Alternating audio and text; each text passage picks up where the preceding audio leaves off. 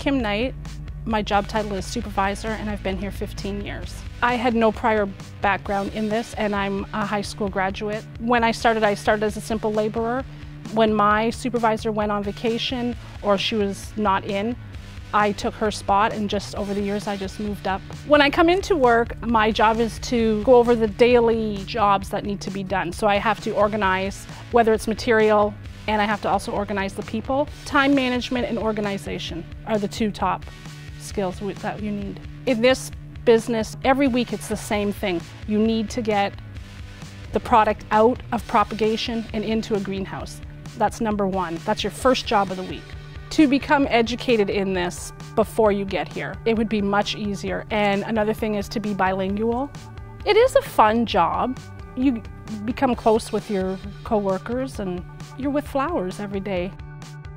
My name's Betty. I'm the inventory control supervisor also supervising the UPC and pot cover machine. I've been here, oh geez, November's gonna be like 23 years. I started out on nights on the pot cover machine, moved up to Azalea crew because I wanted on days, and then I became lift truck driver. First thing in the morning I get here, I gotta look at the spreadsheet, go over the order, go over the UPCs, make sure everything matches. Then I gotta, we gotta pick out whatever we're supposed to use, like a pot cover, color coordinating, it might be a wrap. It's pretty interesting. Just the process. There's, there's a lot of stuff that goes in the finished product. Math, English, organization skills, big time. Really have to pay attention to detail. I was lucky enough I was able to like work myself up, but honestly I would go to school for it. A lot of people that have been here a lot of years, I get talking to them about back in the day and it's crazy what they used to do and how they used to do it. Like it's not as hard as it used to be. It's totally different. It's the little tiny things you pick up as you go. But when it's busy time, oh yeah, it's crazy. But I love it, we love it. I'm Steve Bridgman. My job title is Senior Crop Maintenance and I've been here for 14 years. Uh, the first two years I was just a general laborer and then I got into the crop maintenance program and have learned everything from the growers. They had a posting for a junior crop. and I applied for it and got it and worked from the ground up. The first thing I do is I walk all 15 acres I have to check everywhere. I start in the morning, usually before I start work, quickly go through the inside. Inside's a lot easier because it's controlled atmosphere. It's a lot more sophisticated and time consuming to be outside. Checking if there's dry plants anywhere, measure and check the growth of the plant, do a spray to help regulate the growth on them, to slow them down or speed them up. I find the um, the day-to-day, -day, like the, the mixing of fertilizers, finding out if everything's right, the chemicals, mixing chemicals, stuff like that, I find it all interesting. No, no two days are the same because everything changes. It depends a lot on the weather. Make sure that you are very aware of what's going on, the plants you're working with, the crop you're working with. Patience and just an understanding of your surroundings. It makes it a lot easier to, to understand what can go wrong because if you miss something can lead to losing a crop. My name is Helena Schmidt. I've been working in agriculture for 13 years now and my current position is HR manager. It could be anything from creating labor report, doing administration for recruiting labor to uh, monitoring employees. I would say a friendly attitude, a positive attitude, people skills. I don't have a high school education. Um, I started working in agriculture 13 years ago. My position at the time was general labor. I just took some courses along the way to enhance my position. I just worked my way up. I love the greenhouse atmosphere and um, always learning new things. Always look at everything as a positive stepping stone to grow. I've been working here for about four years in biological control. On a regular day, I'd be driving up and down my rows on a scissor lift and looking for problems in the crops such as pests, diseases, and viruses.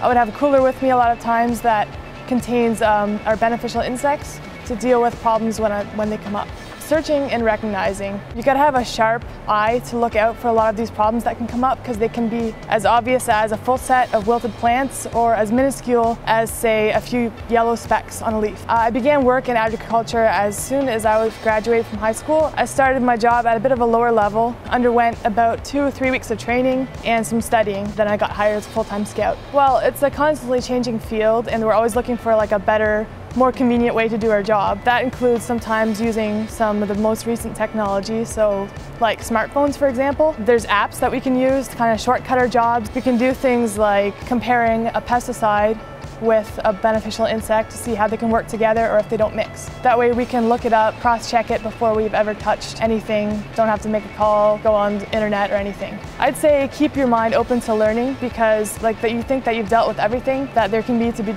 dealt with. A new problem can come up and you gotta learn something new again. My name is Paul Warren. I am the operations supervisor at Phase 3 Packing. We pack all the peppers and I've been employed in the agriculture industry uh, roughly 15 months now. I've had trade school, not really conducive to this industry. Large distribution background, but this is the first time that I've actually been involved in any type of pack operation and it's been a great experience. Of all the jobs I've had, I'm going to say that this is probably one of the most rewarding jobs. Uh, challenging wise, it changes every day. Be prepared for long hours, hard work. I think the biggest thing would be uh, people management. For me, I learned, learned as I went along. It was all new to me, but when I started here, I thought it was just putting peppers in a box, but there's a, a whole lot more to it than that. The packing line that we use, uh, some of the programs we can sort by size, we can sort by weight, by color.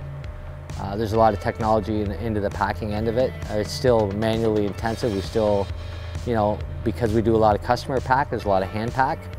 But for the most part, when we don't have those specific customer orders, everything's down the line and in the box and it's all done for you. So automation, like anything, speeds up the process and you know makes us more profitable at the end of the day.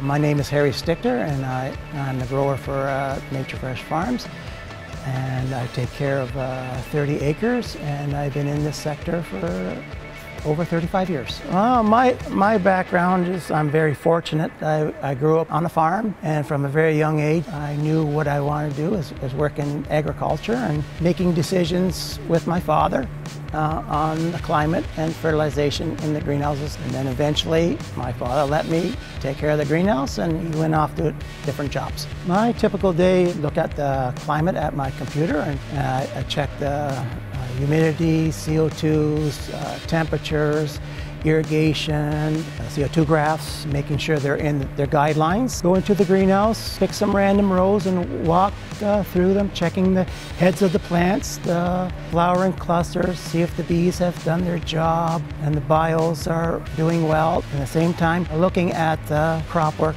of the employees, what they have done to be able to uh, read your plant, what it needs and requires for the greenhouse and, and the plants and, and, people, and to be able to respond quickly on these demands. The most exciting component of my job is looking how beautiful the crop is, seeing what is developing, producing. It makes me feel very gratified.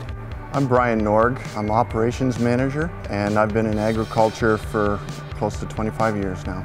I grew up on a dairy farm, so I've been in agriculture pretty well all my life.